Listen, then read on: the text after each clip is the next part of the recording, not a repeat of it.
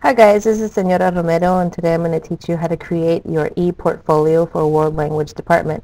I want you to go to google.com and sign in using your initials, ID number at student.musd.org. Like this, initials, ID number at student.musd.org. Once you're signed in, go up to the top black bar and hit Sites. Click on Create. Then you're going to browse for the template that we've created for you by hitting Browse Gallery for more. Hi guys, this is Senora Romero and today I'm going to teach you how to create your e-portfolio for World Language Department. I want you to go to google.com and sign in using your initials, ID number at student.musd.org. Like this, initials, ID number at student.musd.org. Once you're signed in, go up to the top black bar and hit Sites. Click on Create. Then you're going to browse for the template that we've created for you by hitting Browse Gallery for more. The title of the template is MHSWLD World Language Department Portfolio. Search. Select the template and scroll down to Select. You're going to click this orange again to make sure that it's selected and then name your site.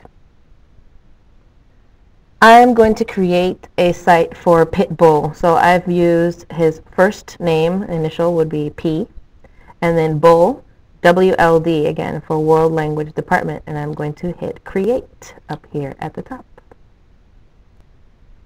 This is the website that it creates for me. Here's my site name, pbullwld, but I need to personalize all of this. If you see on the first page about me, it asks me for a bunch of information, and in order to add the information, I need to use the tools up here in the upper right hand corner.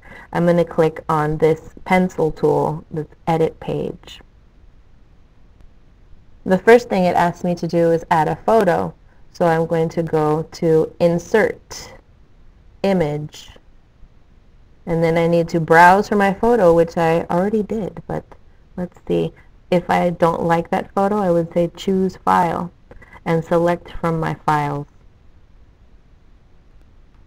Then click OK.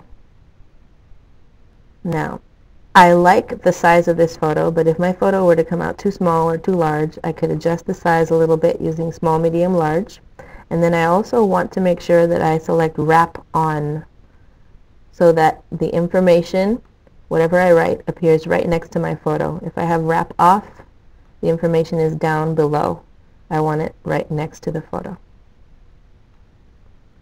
Alright, so it's very, very important that after you make your changes, you go up here to the Save button. Before I do that, I'm going to go ahead and type in all of the answers to these questions. Then I will hit Save. So here's all my information. I hit save and now I'm going to take you for a brief little tour of all the other pages. Next tab is Spanish 1. If you were in Spanish 1 you would uh, have your Spanish information here.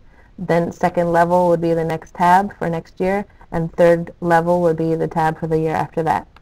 Tools is a small list of um, online tools that we thought would be helpful to you and we want you to add your own. Notes is like a blog that you can update with notes that you take in class, like photos or whatever. Uh, we'll show you more about that in another tutorial. And then finally, you have your Contact Me tab. So the next tutorial will go into more detail about how to personalize the following tabs. Thanks. I hope you watch the next tutorial.